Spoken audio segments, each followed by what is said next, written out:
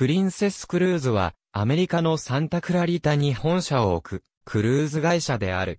以前は、P&O プリンセスクルージズの子会社であった同社は、現在、世界最大のクルーズ船運航会社である、カーニバルコーポレーションの傘下である。同社は、パシフィックプリンセスが登場した、アメリカのラブコメディドラマ、ラブボートで有名になった。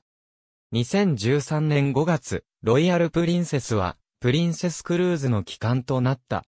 同クラスの船には、リーガルプリンセス、マジェスティックプリンセス、スカイプリンセスの3隻に続き、さらに2隻の船が建設中である。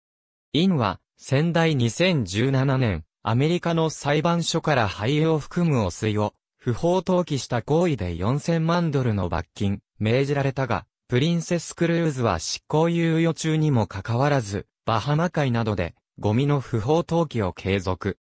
2019年、裁判所から改めて不法投棄や環境破壊に対して2000万ドルの罰金に加え、査察の受け入れを要求。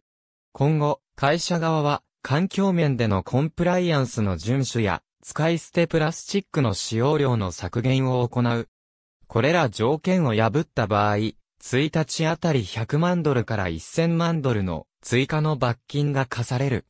裁判官は、会社が今後も態度を改めない場合は、カーニバルコーポレーション参加のクルーズ船をアメリカの港から締め出すと宣告した。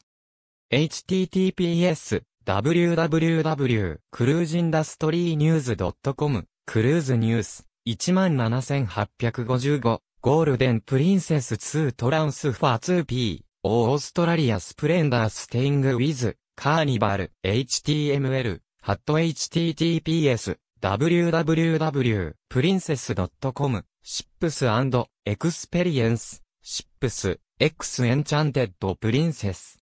AB 次世代型 LNG クルーズ客船2隻を建造へ環境面で最も優れた先進燃料技術を採用した客船を新たに発注、海にゴミを捨てまくる豪華クルーズ船企業の呆れた実態。フォーブスジャパン2019年7月20日閲覧。クルーズ船大手カーニバル、会場に、プラスチック廃棄物を不法投棄。22億円罰金。サステナブルジャパン2019年7月20日閲覧。ありがとうございます。